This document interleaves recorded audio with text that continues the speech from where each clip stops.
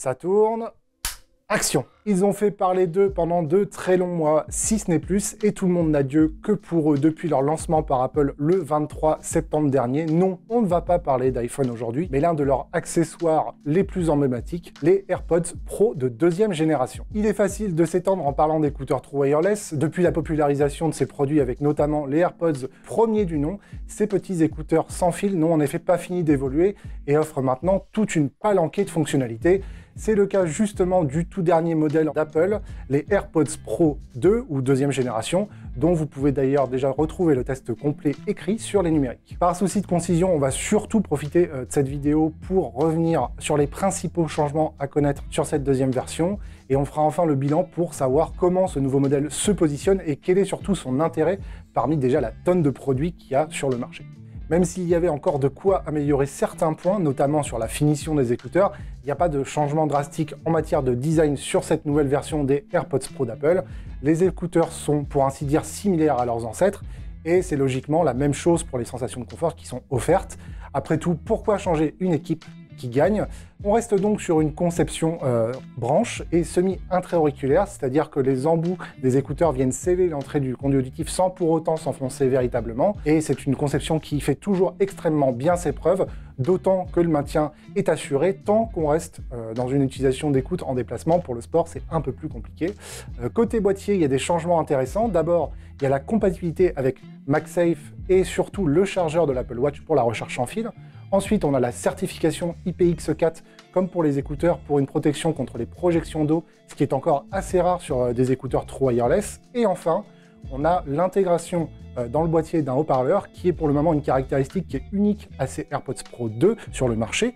Euh, une sympathique idée qui permet surtout voilà, d'avoir des petites alertes sonores pour le retrouver facilement, en plus de la géolocalisation qui est incorporée dedans, ou par exemple pour connaître le statut de l'appairage, de la charge, et en bonus, on a aussi maintenant une petite encoche qui permet de mettre une dragonne. Malheureusement, celle-ci n'est pas fournie et doit euh, se payer la modique somme de 15 euros.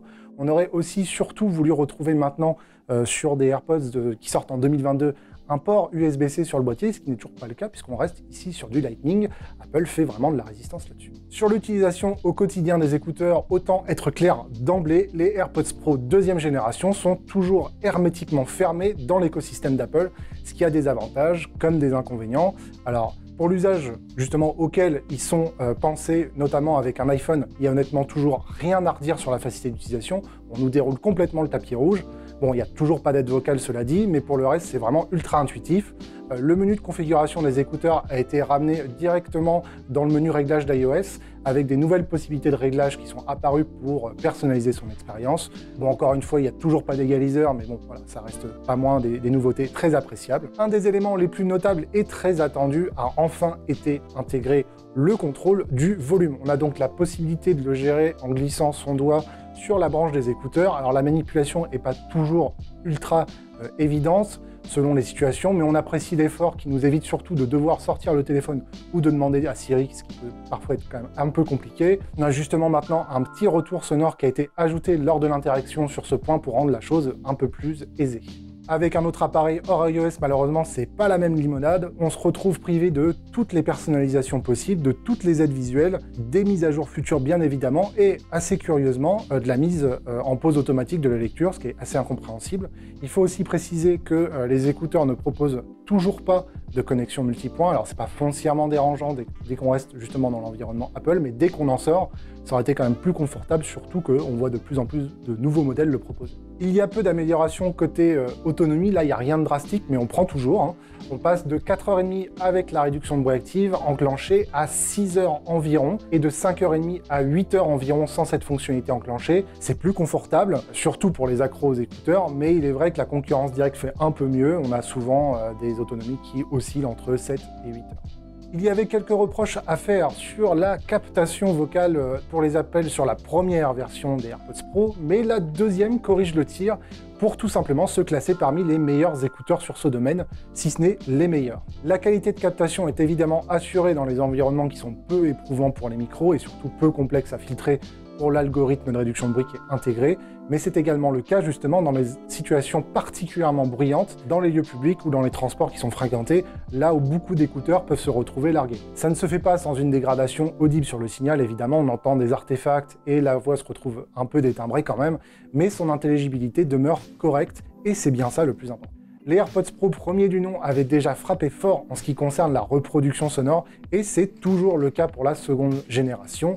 Les AirPods Pro 2 reprennent en très grande partie les bases de leurs prédécesseurs avec toutefois un réajustement, notamment dans la réponse en fréquence, aux deux extrémités du spectre sonore, donc dans les basses et dans les aigus, et le résultat, on va bien l'admettre, est vraiment propre. Même si le rendu est effectivement un peu flatteur, on a ici quand même quelque chose de très bien maîtrisé, de bout en bout, sans excès, qui est très cohérent, dynamique et musical, et donc c'est vraiment plaisant. La mise en valeur justement des extrêmes basses va appuyer justement un peu plus sur la profondeur de ces dernières, des impacts un peu plus soutenus, comme la scie justement, comme on peut l'appeler, qui est un petit peu plus solide, tandis que le gain qui est apporté dans les aigus justement de l'autre côté, qui est combiné vraiment à une extension qui est impeccable dans les plus hautes fréquences, va quant à elle ouvrir le rendu sonore, donner plus d'air, pousser un peu plus en avant justement les harmoniques les plus élevées et donc euh, les détails. On va tout de même avoir une sonorité qui est un peu euh, entre guillemets brillante, cristalline dans les aigus, qui est on va dire moins douce que ce qu'on a pu avoir sur les AirPods première génération. Franchement, on aurait aimé un peu plus de finesse et un peu plus de douceur pour vraiment se rapprocher de la perfection sur cette deuxième itération. Mais franchement, il n'y a pas grand chose à dire à part ça.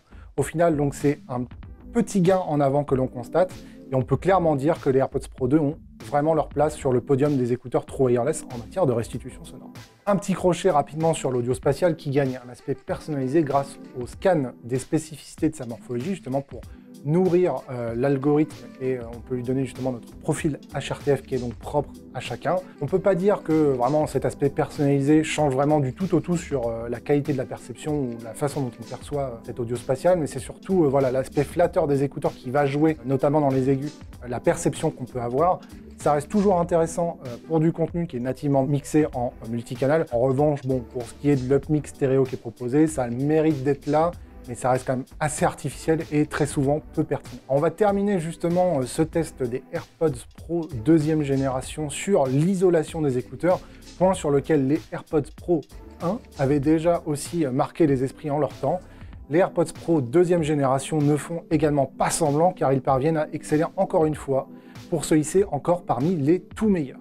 La plus grosse amélioration se passe surtout sur le traitement des bruits dans les médiums où les écouteurs parviennent à compenser de manière affolante leur très faible isolation naturelle, ce qui a évidemment un impact sur la perception des voix et de certains autres euh, composants de certains bruits euh, dans la rue, les transports, les lieux publics, etc.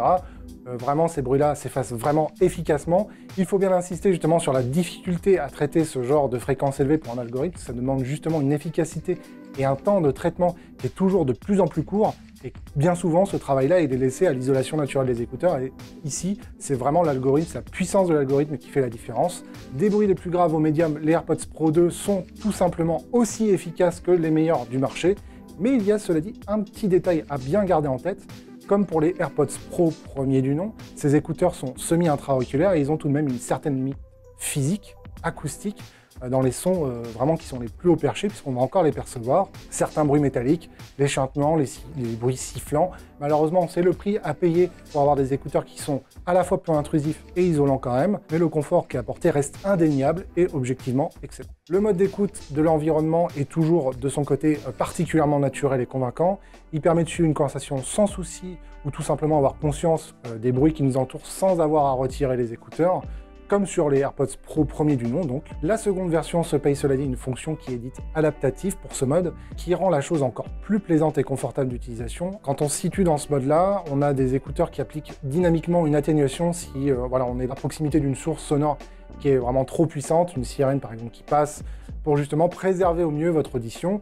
Et ça marche vraiment pas trop mal du tout. Elle a surtout le bon ton de ne pas s'activer à tort et à travers. C'est vraiment un seuil qui est relativement élevé. Et du coup, on a une action qui est particulièrement naturelle et ce qui la rend vraiment agréable à utiliser. Carton plein donc. Bon, après tout ce qu'on a vu ensemble, on peut répondre d'emblée très facilement à la question de savoir si la seconde version est meilleure que la première. Mais oui, c'est clair. Les premiers AirPods Pro 2 perpétuent l'héritage des premiers AirPods Pro en apportant que des améliorations et sont donc très meilleurs que ces derniers. À la question sont-ils les meilleurs tout court? Eh, La réponse dépend dans quel angle on les considère.